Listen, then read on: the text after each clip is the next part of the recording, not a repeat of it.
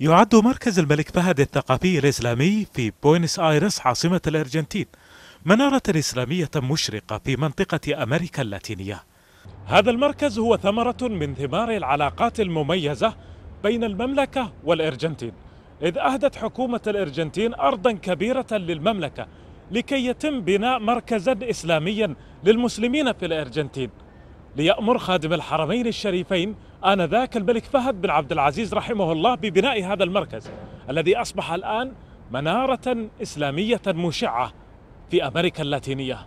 ويعتبر هذا المركز هو أكبر مركز إسلامي في العالم من حيث المساحة بسبعة وثلاثين ألف متر مربع. مركز الملك فهد الثقافي الإسلامي في الأرجنتين آه، أصبح محط أنظار الجميع سواء من من أبناء الشعب الأرجنتيني أو من حتى السياح القادمين إلى إلى هذا البلد حيث أنه معلم من معالم السياحية الموجودة وأصبح يقوم بأدوار كثيرة. هذه التحفة المعمارية جسدت جمال الفن الإسلامي وأبرزت معالمه ليكون هذا المركز المرآة الإسلامية والمعلم ضمن معالم هذه المدينة.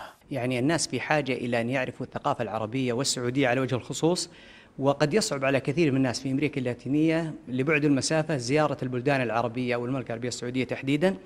فأردنا أن ننقل لهم صورة مصغرة عن تراث وماضي المملكة العربية السعودية والعالم العربي بين أيديهم. يتكون المركز من عدة مرافق كجامع لإقامة الصلوات.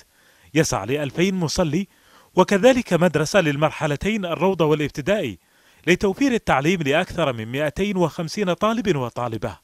ويحتوي على مكتبة تخدم عدة مؤسسات تعليمية في الأرجنتين.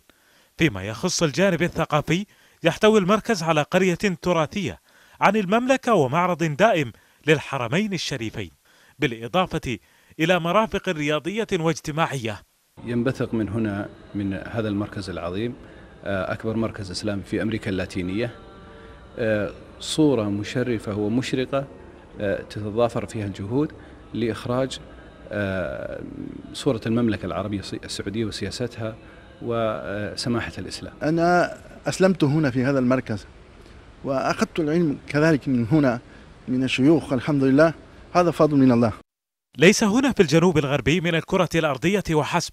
يمكن أن تشاهد ما تقدمه المملكة العربية السعودية من دور تكاملي لخدمة الجاليات المسلمة وللمجتمعات بشكل عام. بل يمكن أن تلتمس دورها الحيوي في دعم سبل السلام وخدمة المسلمين وتعزيز التواصل بين الشعوب في كل أنحاء الأرض. بدر العازمي بوينس آيرس لقناة الإخبارية.